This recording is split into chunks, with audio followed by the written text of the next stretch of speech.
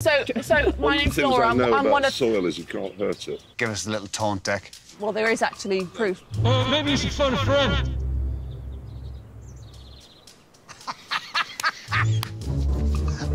Have you have you read any research into soil awareness, soil Yes. rights? You have. So, what, Yes. what do you know about about uh, soil? Well, soil rights, there's no such thing.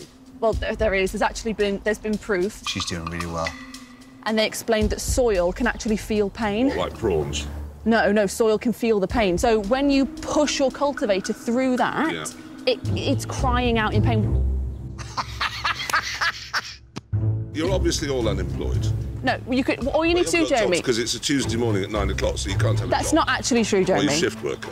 Well, I work in a coffee shop, yes, And but well, they're obviously not very hard. that's not Bye. really. That's not what, patronising. we're not. We're not. Well, we right, don't then how appreciate you going being to plant a patronising. thousand acres? You, Don't patronise us don't hurt us.